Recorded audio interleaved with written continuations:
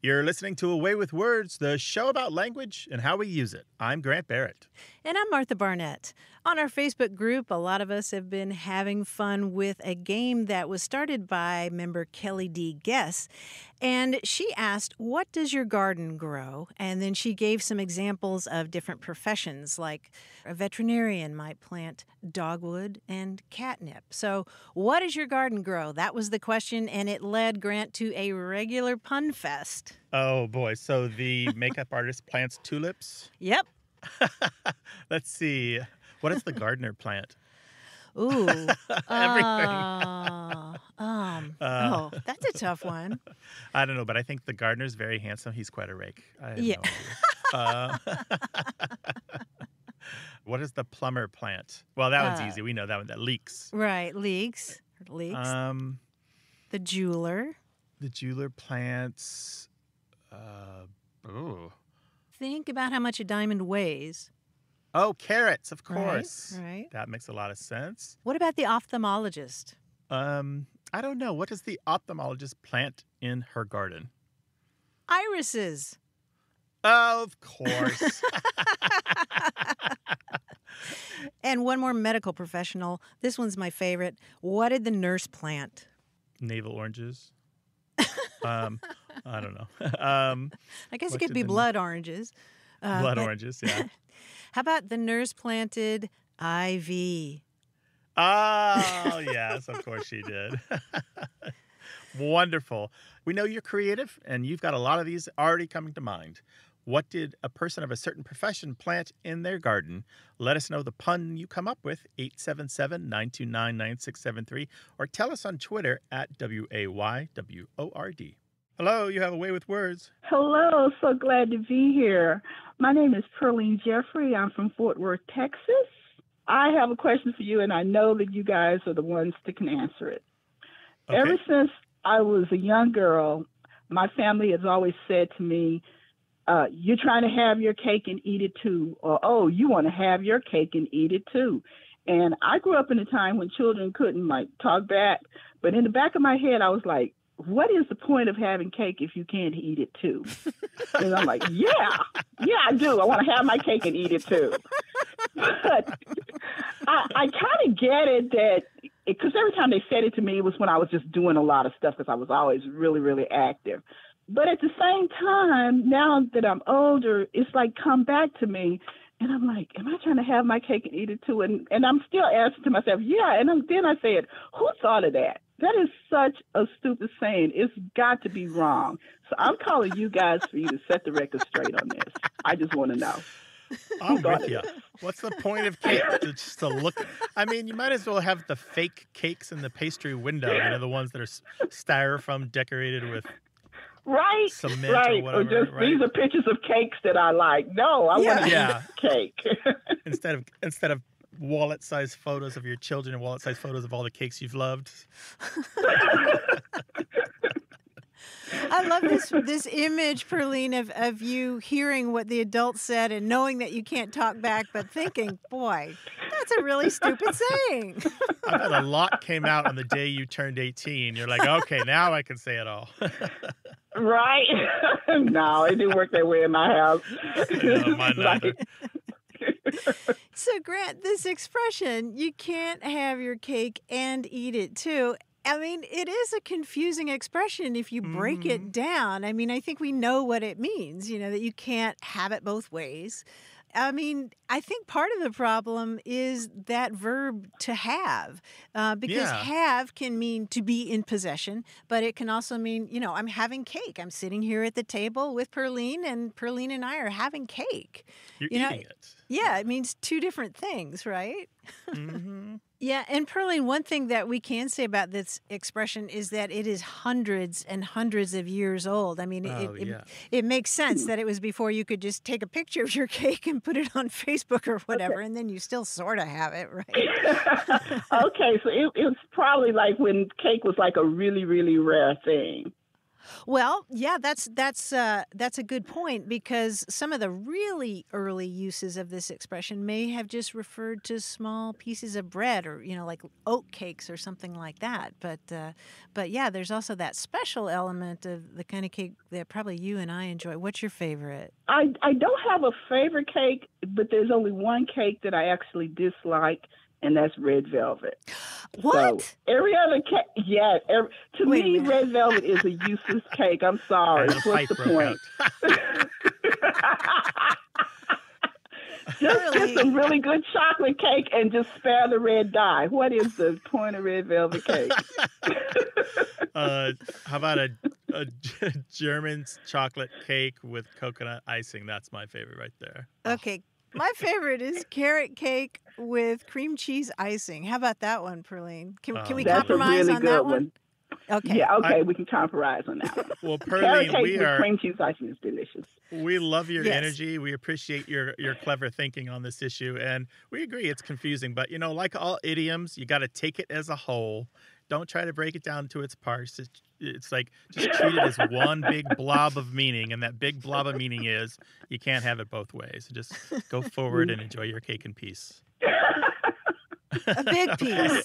a big piece. I Maybe- shall. maybe another one because, later. Yeah, yeah may, maybe maybe now maybe now people will do away with that saying. Get something With totally different. Because yeah, Perline's Law. We're gonna have them name it. It's gonna be in all the. All, just, just do it. Law. I don't care how hundreds. It's hundreds of years old. It's time to do away with that because yeah, don't All right. serve me cake if I can't eat it. Thank you so much. Oh, that's wonderful. You take care now. I all really right? enjoyed Appreciate being on with you guys. Thank y'all. Bye-bye. Hey, thanks, Perline.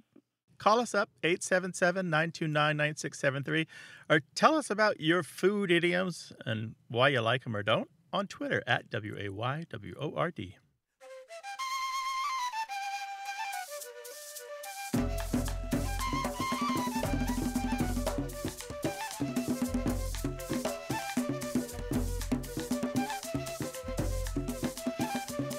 heard from Ron Schomburg in Wynnewood, Pennsylvania, who wrote to us to say a college roommate taught me one of his family words that I've adopted the as you. It's the second or third stair on a staircase. As you. As you go, is Yes. that what it is?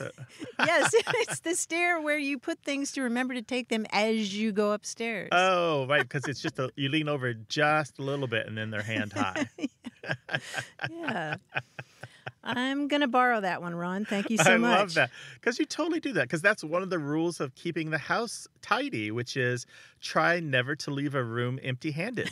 There's always a bit of laundry or a- Yep. a, a bit of dishes or some bit of trash or just something that belongs in another room that you can take with you when you go. Yes. Yes, Grant, I I have always tried to do that, but I feel like I just move the messes around. I am just imagining you like pulling one of those parks and rec carts behind you with the trash cans, the, the, the two barrels on wheels, you know, and you've got your rake and your your canvas bag, and you're picking up the trash from room to room in the house. Maybe I should do it that way. 877 929 9673. Hi there, you have a way with words. Well, yes, I do. He's been waiting a long time to say that. Obviously. Hi, who are you? Where are you calling from? My name is Matthew. I'm calling from Vermont. What's on your mind today? What are you thinking about? Well, you know, when I was growing up in Vermont, uh, central Vermont, we had a term we would say book it, which meant to move at a rapid pace from point A to point B, sometimes across town or uh, down the street or whatever. So we would say, we got to book it over to Rick's house or book it over to the park or something of that nature. Well, I always found that interesting because you know, it, it's not like a book or, uh, you know, book somebody into jail. It just meant to move at a rapid pace from one place to another. About when would that be? About what decade? Yeah, this was back in the 70s, mid 70s. 70s. Uh, Yeah, that actually sounds just about right for book it. You know, I've been trying to put together the pieces for this particular bit of slang for a while, and I, I have some notes that I've put together because I've got a theory that I haven't proven yet. But let me just lay this out for you and, and everyone else and see what you think. As far back as the 1860s, there were a couple of different terms that were used to imitate the sound of running feet or hooves, especially if they were going fast. And they're bookity book or bookity bookity. Yeah. So you might say someone is running bookity book, or a cowboy is riding bookity book, or a quarterback went bookity book toward the field goal, or a deer was fleeing bookity book from the dog, something like that. And uh, in particularly, particularly in the South and states like Tennessee and Virginia, and in the last century or so, it was particularly common among speakers of African American English, including in the writing of Zora Neale Hurston in the 1930s. So it has a long history, this bookity book. And, and it's imitative, obviously. It's like the sound of feet running, right? Or the sound of hooves against the ground. So hang on to that for a second. In the early 1920s, there was a boogie um, among Black Americans, meaning to party or have a good time with drinking and dancing. And there was also a noun boogie, which was the same a party where you did all those things. And by the 1940s, that word boogie could also just mean dance fast to strong rhythmic music. And uh, the 40s are also when boogie came to mean to leave or move in a hurry. And here's one of your connections, right? So we got a boogie. We got to get out of here. And then here's the third connection. In the 1950s, the Korean War brings home the term bug out, which means to leave in a hurry, flee, or just leave in an ordinary way. And by the 1960s, it was sometimes shortened to, to bug. The party was a dud, so we just bugged. So, in the late 1960s and the 1970s, my hypothesis is, and I haven't proven it yet, is when they all come together and we find the first written records of book it, meaning to move quickly or leave quickly. And it continued for a while. The, the slang popularity of booking it or book it has waned. You'll still find it here and there, but this heyday was pretty much the 70s and the 80s.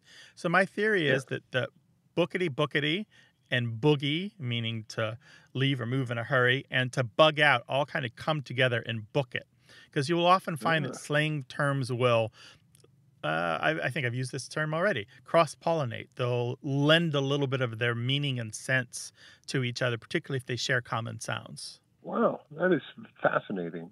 So Yeah. you're actually boogieing across town instead of booking across town. Yeah, you could see how boogie and book it. Like there's a lot of similarity there, and G and K do sometimes swap in the mouth. Interesting. That's fascinating. Thanks for the question. Really appreciate it. Take care. All right, I got to book it Bye-bye. now. Thanks, Matthew. Call us with your language question 877 929 9673.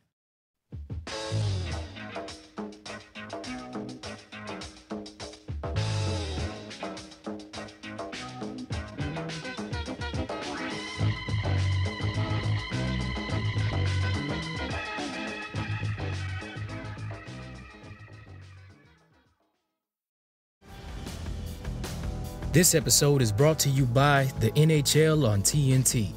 When it comes to hockey, the Stanley Cup playoffs are built different. Experience the intensity and insanity on the ice and off it. From now through June on TNT and TBS. Get ready for seven game rounds of knockdowns, dragouts, pressure, and agony as teams go head to head without ever letting up. The Stanley Cup playoffs are known for more than just a few cracked ribs and black eyes. Pushing through the pain is the name of the game. With so much edge of your seat action, you'll refuse to shave or change your jersey. Don't say we didn't warn you. Ready to feel the rush? Watch the Stanley Cup playoffs now on TNT and TBS. You're listening to A Way with Words, the show about language and how we use it. I'm Grant Barrett. And I'm Martha Barnette, and joining us now is our quiz guy, John Chaneski. Hey, John. Hey, Martha. John. Hi, Grant. How are you guys? Doing well. Super duper. Good. I'm doing very well as well. You know, uh, as a puzzle person, I'm one of those people who uh, used to, uh, I like to look at maps all the time and uh, charts and things. Uh, I love science for all its words and for its elements. Now, to me, the periodic table is like a map. I could examine it all day. The names of the elements or symbols are all fascinating to me. So I've got for you guys a, a little quiz about the periodic chart and the elements thereon. Okay? Sure. Oh boy. Good, all right. Some elements were named because they did not get along, so to speak. They didn't form compounds with other elements. For example, argon comes from the word argos, meaning idle. Which element comes from the Greek word for stranger? Is there a Greek xenium or something? Uh, close, yeah. It's it's uh, it's a Xenon, noble isn't it? gas. It is Xenon. xenon, yes, because it estranged itself from other other Oh, elements. Very good. Interesting. Only two elements are named for continents. You've got a two in seven chance. What are they? Americ Americanium or something like that. Americium, very good. Uh-huh. Americium Right. And Europium. And europium, yes. Americium was named Americium because the element above it was named for Europe. So they said that's a real way to decide. Okay, we gave one to Europe. Let's give one to the Americas. Nicely done. Only four elements are named for countries in which they were discovered or their discoverer's homeland. Can you name them? Well, by homeland you mean like Californium? Uh, no, no, I'm talking about countries. Yeah, but good knowing I mean, for California. California. Yeah, Okay. Okay. Um, Francium. right. For France, which was it was isolated there. Is there see, a uh, polonium? There is a polonium from Marie. Curie's birthplace. Very good. Is there a Britannium? Not Britannium, no. That's a good one. Um, stay, stay in Europe, though.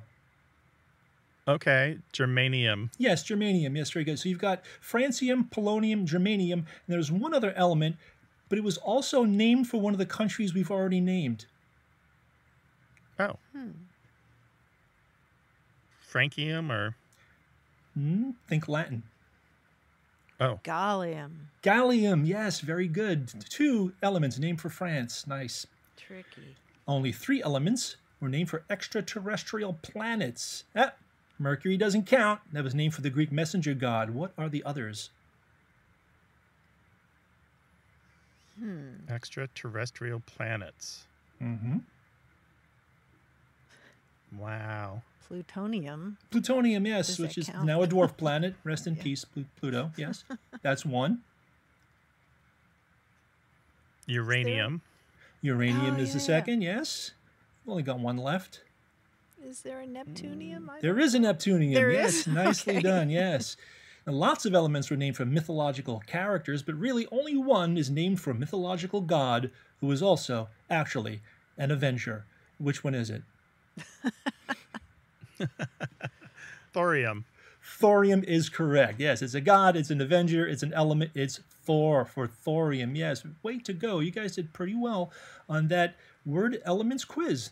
Thank John. you, John. We'll talk to you next week. Give our Thank you. give our best to the family. You too. Bye bye. This show's about words and language and fun stuff like books and poetry, grammar and slang. Give us a call, 877 929 9673. Email words at waywordradio.org or try us on Twitter at W A Y W O R D. Hello, you have a way with words. Hi, this is Jenny Rome calling from Portland, Oregon. Hey, Jenny, how you doing? I'm good. How are you guys? Fantastic. Welcome to the show. Well, I'm calling today because uh, my daughter is a licensed falconer. And Ooh. when she was going through the process of becoming, um, going through her apprenticeship, a lot of falconers talk about words and phrases that are really falconry terms that are used in everyday English. And so there's a whole bunch of them, but one of the fun ones is um, waiting with bated breath. So I wanted to ask, I'm pretty sure this comes from falconry. Um, I wanted to know kind of like when it came into the language and a little bit of history around it. So, Jenny, you're talking about the word baited, as in to wait for something with bated breath. You're full of anticipation and you're so excited about this that you're literally holding your breath and um, waiting for this thing to happen. And that bait is spelled B A T E or B A T E D, baited. And it means to, to stop completely. But then there's a different bait that actually comes from the same root, and that's the one that you're talking about in falconry, right, Jenny? That's that's the one. If uh, baiting in falconry means to beat the wings impatiently and then flutter away from the perch. And this kind of bait goes back to that same Latin root, but uh, it means something different. What's really cool is that this falconry term, bait, meaning to beat the wings impatiently, gives us another English phrase. Any idea what that might be? I have no idea. I, I only learned this a couple of years ago, but it's related to bat, as in bat one's eyes. Bat is a variant of that bait. And so if you're batting your eyes, you're fluttering your eyelids, um, kind of like a hawk fluttering its wings. Oh. Yeah, so there are two different baits in English. They both go back to this um, this ancient Latin root, but one is in falconry, and then one is in words like like um, a bait, meaning to completely stop something or uh, to bait your breath, which you only hear in the term baited breath. So, waiting with bated breath is not from falconry, but is related to the falconry bait, when a bird is trying to fly away from the perch or the falconer's fist. Well, they're they're very very distant relatives. Very um, distant. We're talking many centuries, right? Yeah, yeah. Their children, their grandchildren, great grandchildren of the same parents. There you go. That that's a good way to put it. Yeah. In the nautical world, Jenny, they have an acronym CANOE. It means conspiracy to attribute nautical etymologies to everything. So I've made up one for the falconry world. It's coffee. Conspiracy to originate fishy falconry etymologies to everything. I love that. and the reason that both, but the reason the nautical world and the falconry world both have this long history of um, words that actually do come from their fields and, and, and exist in the standard languages because they're so entrenched with the cultures that speak English. You know, it's centuries of millennia. What is it, 5,000 years of falconry or more? Um, it's a long time, and it's a, it's definitely left its imprint on the language, but not necessarily in the ways that people might tell you. Interesting. Yeah. That is very cool. Thank you so much. I love Outstanding. listening to your Thank show. you. You. guys keep me company all the time. Oh, Do that's nice. Hey, Jenny, Jenny, we know that falconry is rich with lots of terms and language. You are welcome to call us some more later. Great. Thank you. Bye bye. Thanks, Take Jenny. care. If you're passionate about something, you have a hobby, and there's language connected with it, we'd love to hear about it. Call us 877 929 9673 or tell us about it in email. The address is words at waywordradio.org.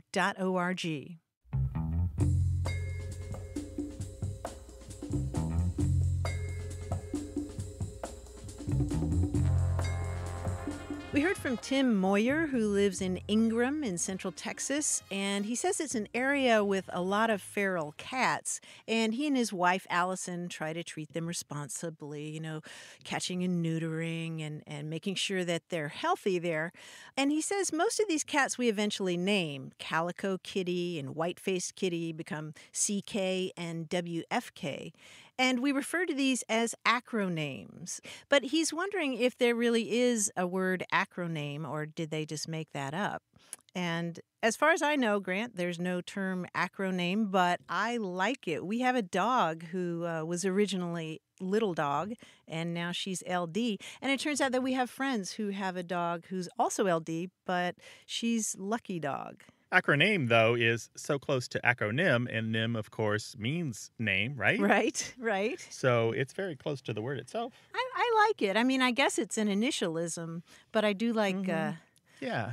I like acronym, and it makes me think about how we've talked on the show before about how funny it is that pets seem to acquire not just one but several names as time goes on. Yes, we uh, we've developed a whole new slew of names for our cats, even since we last spoke about this. Bianca is now sometimes called Bonkers, Why is that, Grant? uh, just because it's a funny name. She's actually very sweet and gentle. It's the other cat who's the wild one. Bonkers.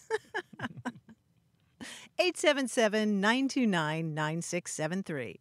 Hello, you have a way with words. Hi, this is Joseph in Richmond, Virginia. Hi, Joseph in Richmond, Virginia. hey, How you doing? Joseph. Welcome to the show.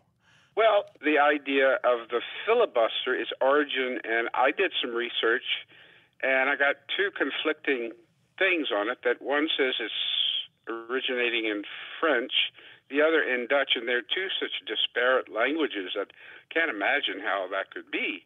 And also the fact that it's very undemocratic. It was used in the 1870s to uh, help the Dixiecrats who were trying to fight desegregation tooth and nail. And here we have a minority who can rule the Senate with one person. I, I I've had my senators on on the line. Uh, I've talked to them directly. Joseph, Joseph. Yes. Away with Politics is a different show. We can't help you with that part. well, well. Anyway, I I made sure they knew my point of view, and it is a very very tenuous. That's why we have the blockage in the Senate we have, because one Yeah. person can block everything. Now, what is Right. the origin? Have you all found the origin of that word? Well, um, you talked about uh, hijacking legislation, basically, and and if you've looked into the history of this word, then you know that it has to do with piracy, right? Uh, kind of le- lent itself to me, yes. The earliest history of this word is kind of murky, but we do know that ultimately it goes back to the Dutch word vrijbuiter, which uh, uh, which means pirate. The word in Dutch vrijbuiter it comes from the same root that gives us the English words free and booty, as in a pirate's plunder. I did not come across that. Yeah, in fact, early on in English, we had the word freebooter, which meant a pirate or a privateer. Okay. Later on, uh, Dutch colonists in the 16th century used the word vrijbuiter to denote pirates that they ran into in the West Indies. And this was picked up in Spanish as filibustero and in French as flibustier uh, in the Oh, late okay. 1700s. If you know your history, then you know that in the 1850s and 1860s, there were some rough characters, a lot of them from the United States, who were heading south on expeditions to meddle in Central American affairs. And we're talking Okay. about mercenaries and, and people leading these private armies on these illegal expeditions, uh, going into Central America and the Spanish West Indies to overthrow Spanish colonial rule and sort of take over these territories themselves. And as you might suspect, these meddlers, these soldiers of fortune, were called filibusteros. Eventually, U.S. newspapers picked up this term and uh, anglicized it anglicized filibustero as filibuster. And in 1853, the House was debating about whether to annex Cuba, and one of the representatives denounced that idea as piracy or a filibuster. And um, Uh-huh. As you noted, uh, over time, filibusters have been used uh, to do things like, uh, you know, block civil rights legislation, including anti-lynching bills, things like that. Sounds like piracy. I mean, you could also argue that it's protecting the rights of, of the minority group in Congress, but uh, Right. so it's it's controversial that way. But but filibuster has its origins in the idea of piracy. Okay, that explains a lot. Yeah, it's it's very picturesque, wouldn't you say? yes. Well, I thank you. You you all have done a lot more digging than I did, But that's that's your that's your forte. So I, I'm I'm Yes, so sir. happy to have heard that. That's what It we is do. indeed our métier. Thank you, Joseph. We appreciate it. Take care now. Thank thank you all for taking my call. I appreciate it. sure. Bye bye. Bye bye. 877 929 9673. Hello, you have a way with words. Hello. Oh, hi. This is Maggie. I am calling from Spring Valley, New York. Welcome, Maggie. What can we do for you? I um, recently heard your program. I was delighted, and I'm a first-time listener, really. And Okay. um, as soon as I heard your program, I thought of my father, who always had these terrific um, expressions, but one in particular that I never un- understood what it meant. And he was very fond of visiting people, just popping in and visiting and um, not staying too long. He didn't wear out his welcome or anything, but he would always stop on his way and, you know, buy something, cake, cookies, or whatever. And we'd say, Dad, what are you doing? And he'd say, Ah, come on, Mag, you can't show up with one arm longer than the other.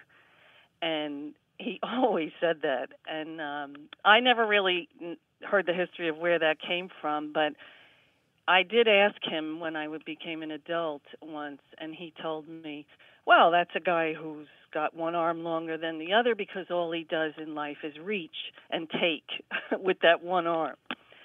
But I don't know if that's so. So I thought you would be the experts. Oh, that's so Hmm. interesting. I haven't Mhm. heard that particular version or explanation before. Um, Maggie, we've got a lot to tell you about this. I'll try to keep it briefer, but your dad's version is kind of rare um, and special to you and your family because usually it's said a little differently. With it said as "Don't go visiting with one arm as long as the other." So basically, don't go visiting with both arms the same length or Oh. sometimes rarely one hand as long as the other because the idea was that when you go visiting always bring something. So your dad was still obeying the rule about always bring something to someone else's house a f- food a gift or, or something like that.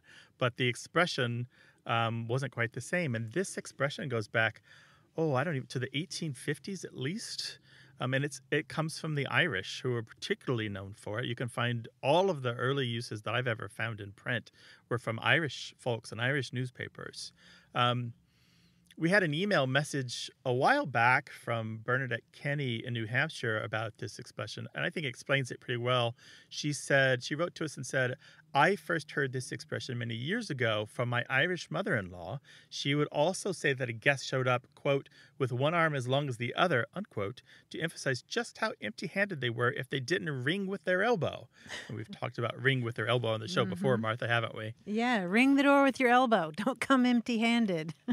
Right. Um, so one arm as long as the other uh, means empty-handed, and one lar- arm longer than the other means you have something in your hand that's stretching out your arm. well, How about I that? could see I could see my father having his own version. He was quite a character, and we um, also are very Irish.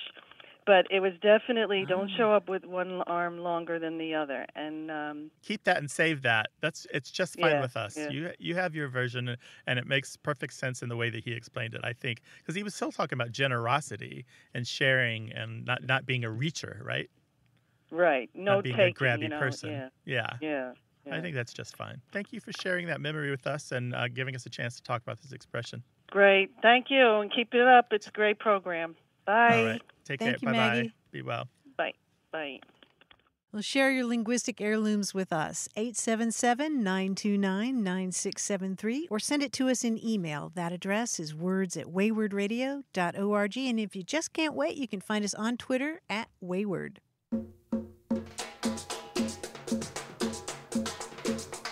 Here's another entry from our Facebook discussion about things you might plant punningly in a garden. You know what twins would plant? Pears. Yes. As a twin myself, I, that came right to, right to my mind. Very good. What about a mime? What would a mime plant? Mm, a exactly. mime. Mums. Excellent. There's probably a lot of answers for those if we sit down and think about it. There probably are. Oh, yeah. Share your contributions with us. What would so and so plant in their garden? Uh, we'll share them on the air. 877 929 9673 or email words at waywordradio.org.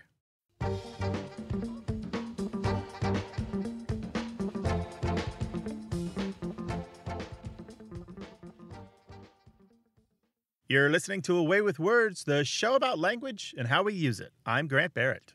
And I'm Martha Barnette. You know, Grant, I suppose we all have words that we have to look up again and again because we just can't remember how they're pronounced. Do you have any of those? How they're pronounced. Mhm. Oh, that's a good one. I tell you, I have one. It's spelled B R O O C H. How do you say that word? B R O O C H. I Mhm, just say brooch. You say but brooch. Brooch. Well, But there's brooch the subject, but that's O A, Yep. right?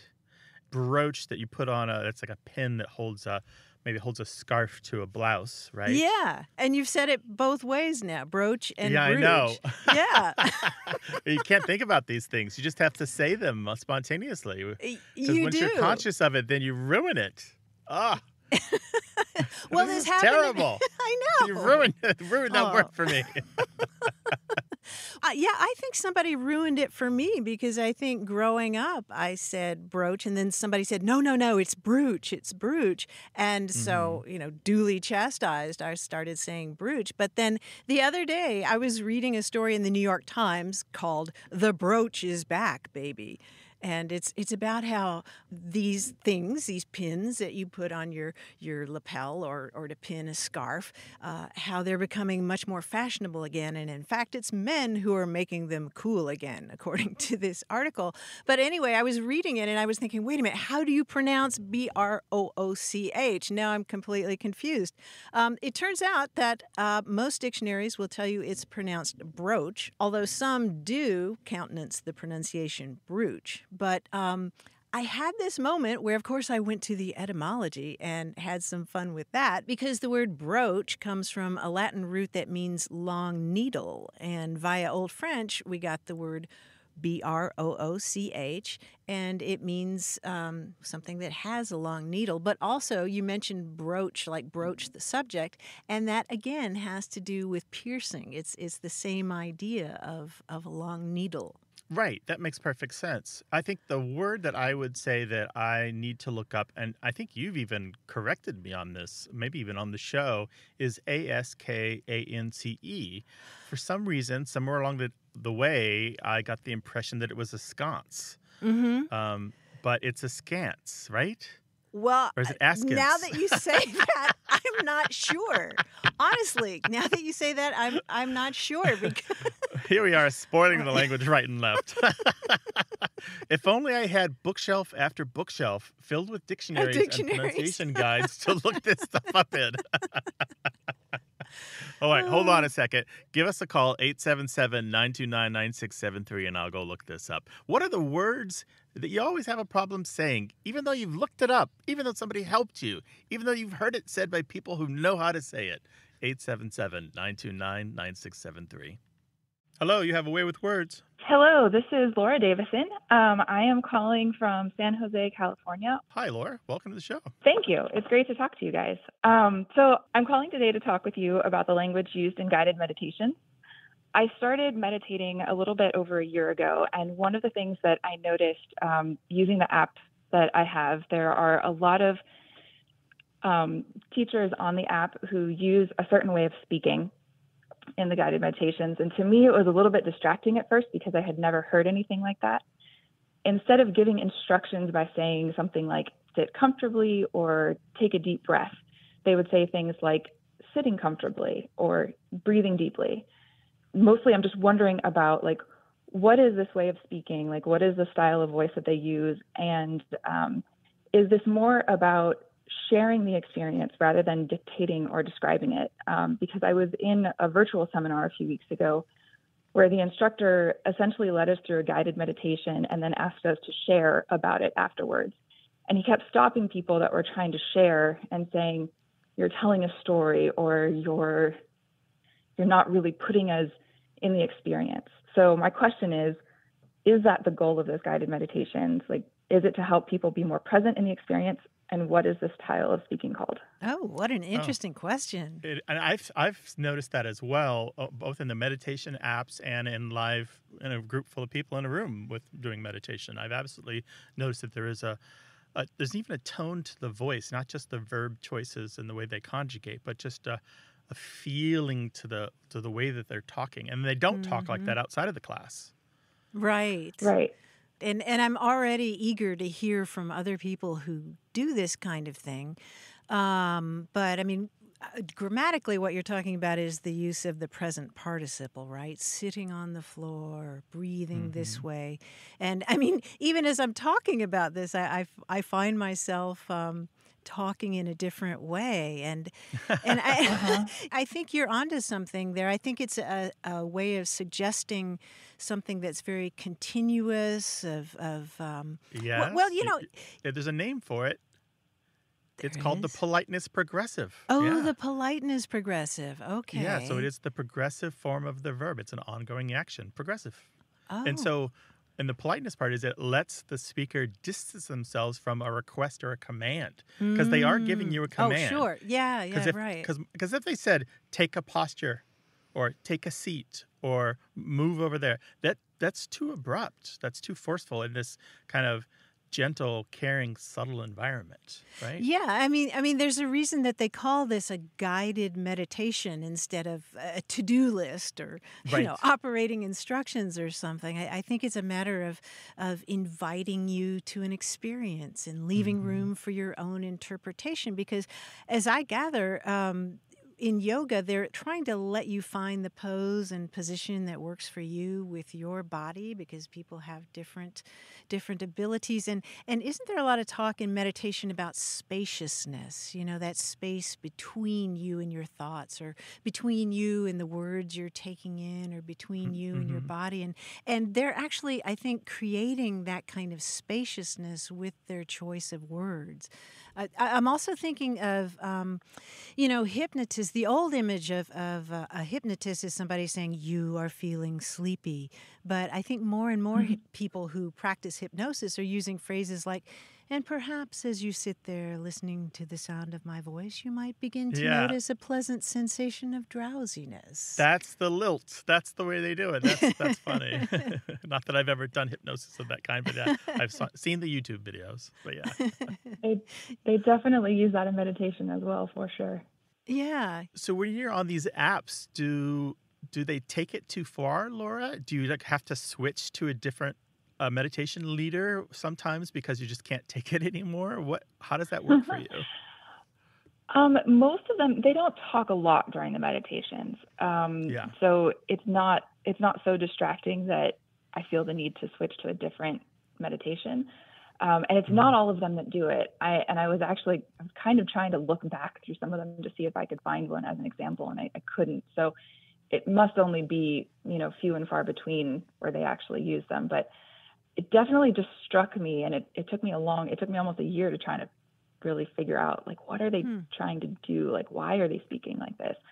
Thinking about it in a sense of yes they're getting you in the moment and in the Mhm. experience rather than thinking about it. You're actually in it. It makes a little bit more sense.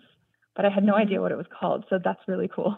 If you want more on this, if you want to get really super languagey and nerdy, Google politeness discourse linguistics, those three words, and you'll come up with a ton of stuff that talks about all these subtle ways that we allow people to understand that we are being polite in our language. We give them outs. We indicate that we're not being forceful. We indicate that we're um, hedging a little bit. But politeness, politeness, discourse, linguistics, those three words together should get you a ton of stuff. Okay great i definitely will thank you Laura, thank you so much for calling. I'm sure everybody's going to be paying more attention the next time they're uh, meditating or taking a And yoga good luck with your practice, all right? yes thank you and thank you for taking my call it's a pleasure to speak with you guys Great speaking right. with you too. Be well. Bye bye. you too bye bye Let us create a language monster for you, customized and perfect just for your life. 877 929 9673, or email the details of your language monster to words at waywordradio.org.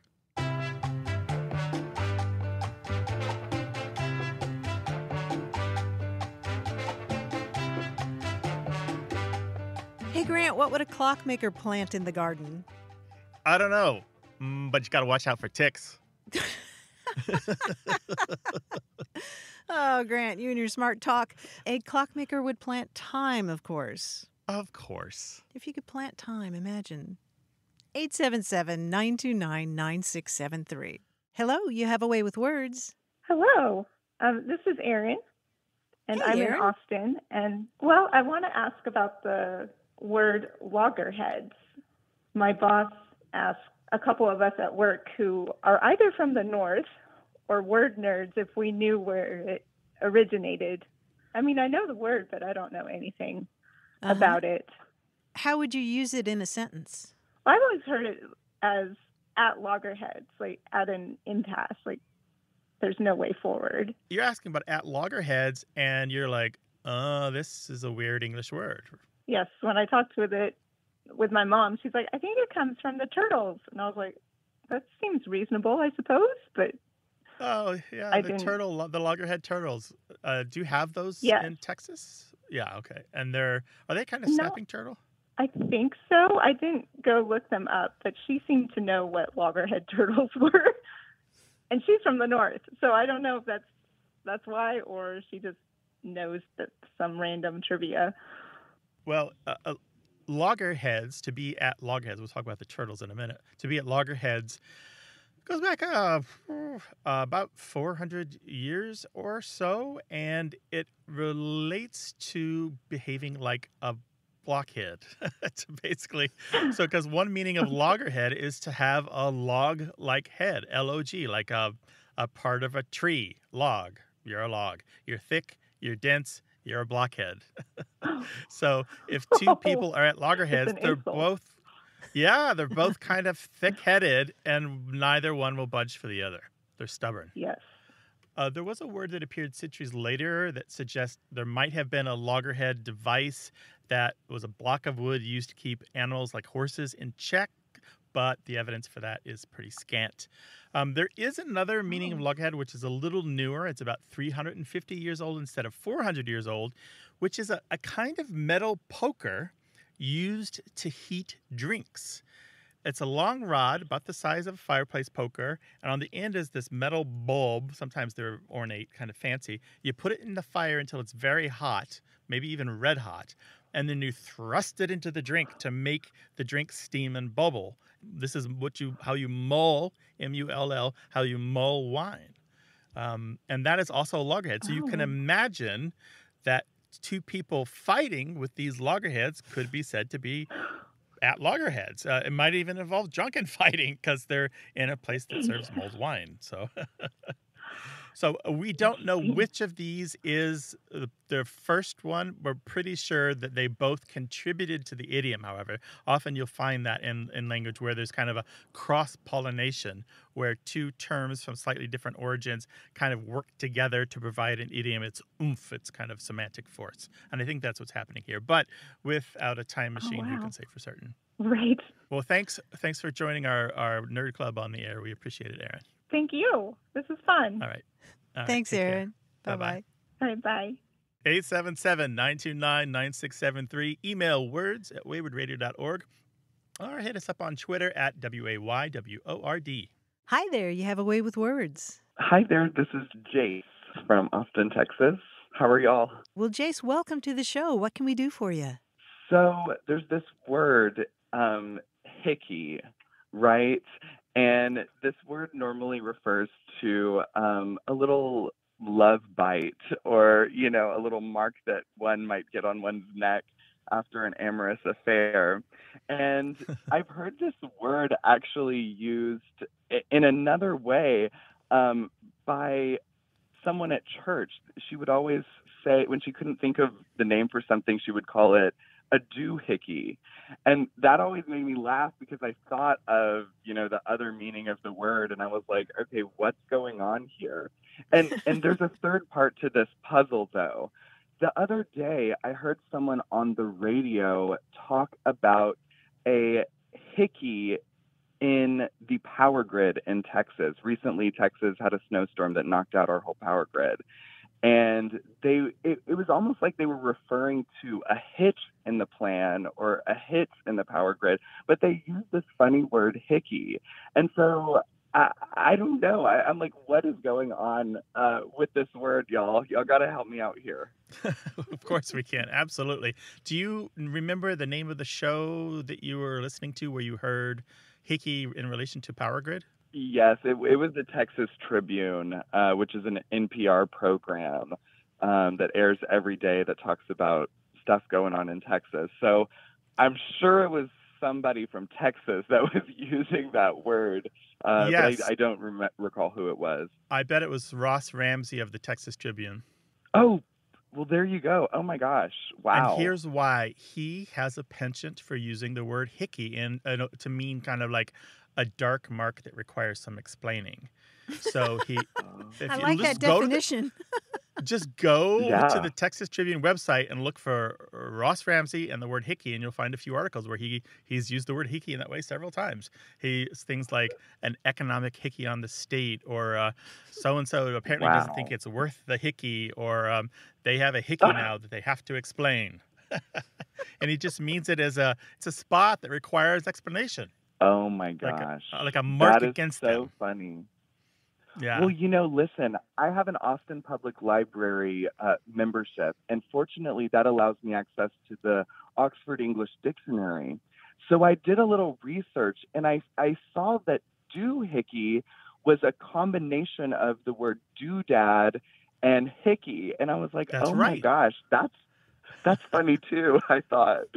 Yeah, because hickey didn't always just mean um, a love bite or a love mark. It also meant a whatchamacallit or a thingamy, just like doodad did. And so there's kind of a crossover Ah. there. But hickey also doesn't only mean the thing you get when you're sucking face. It also could mean any kind of mark on the skin, like a, a bruise or a pimple or a boil or just any bump that's not supposed to be Oh, there. yes. And even in the print in the printing business, there's a couple different kind of hickeys. It could be little defects or bits of irregular ink on on the printing job that are visible Uh-huh. but not uh, not bad enough that it'll spoil the whole print run. And then a hickey can also be Now like a, a, a dingbat or an ornament that you might include like in a corner to end a paragraph or end a column. Oh my gosh, that's too funny. I have some friends that are printmakers. I'll have to ask them if they use that word. Oh yeah, dude. How They they probably have a ton of great language for you. Printmakers have, since it's you know a 500 year old profession, they have tons of deeply steeped lingo. Oh my gosh, and I'm a total nerd for that. Well, listen, that is so funny. I'm so happy that y'all tracked down that Texas Tribune thing, and I didn't even think to look there, even though I knew exactly what show it was. So thank y'all so much. I really do appreciate it. yeah, and I'm a sure. it was a pleasure show. to talk to you, Jace. Yeah, Jace, thanks for calling. Bye bye. Absolutely. Bye bye, y'all. Bye, Jace. Well, we'd love to hear your stories about a word that really surprised you in a new context where you thought it meant one thing, but now it seems to mean another. 877 929 9673 or email words at waywordradio.org. Thanks to senior producer Stephanie Levine, editor Tim Felton, and production assistant Rachel Elizabeth Weissler. You can send us messages, subscribe to the podcast and newsletter, and catch up on hundreds of past episodes at waywordradio.org. Our toll free line is always open in the U.S. and Canada, 877 929 9673, or email us words at waywordradio.org. Away with Words is an independent production of Wayword Inc., a nonprofit supported by listeners and organizations who are changing the way the world talks about language. Many thanks to Wayword board member and our friend Bruce Rogo for his help and expertise. Thanks for listening. I'm Grant Barrett. And I'm Martha Barnette. Until next time, goodbye. Bye bye.